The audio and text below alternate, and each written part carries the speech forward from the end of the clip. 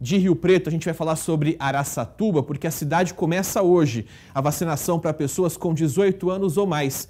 Jéssica Tábuas está na redação e ao vivo tem os detalhes para gente. Tudo bem, Tábuas? Bom dia para você. Casa Grande, bom dia para você, bom dia para todo mundo. Pois é, esse novo público, então, aqui da cidade de Araçatuba começa a ser vacinado a partir de hoje. Mas é importante dizer que pessoas, então, com 18 anos ou mais precisam fazer o agendamento antes no site da Prefeitura para ser vacinado. O site vai aparecer para vocês, é o araçatuba.sp.gov.br barra vacina.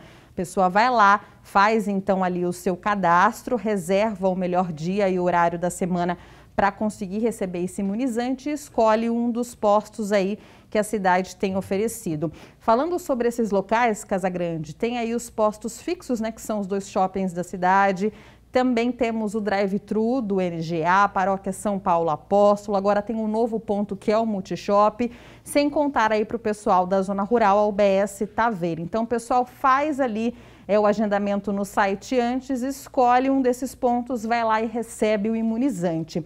Então, está disponibilizada a primeira dose para esse público novo, de 18 anos ou mais, mas continua aqui na cidade a imunização para as mulheres que estejam amamentando crianças até os dois anos de idade, os idosos, as grávidas que já deveriam ter tomado pelo menos a primeira dose por algum motivo ainda não tomaram. Esse pessoal não precisa fazer o agendamento.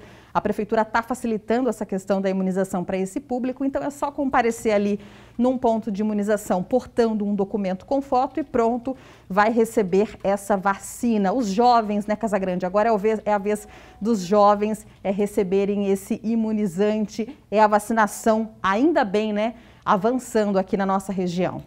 É, depois do atraso que a gente teve por início dessa imunização, agora está indo, né? Isso é fundamental. Tô na ansiedade, tá? Mas amanhã eu vou tomar minha segunda dose. Já agendei no site da prefeitura.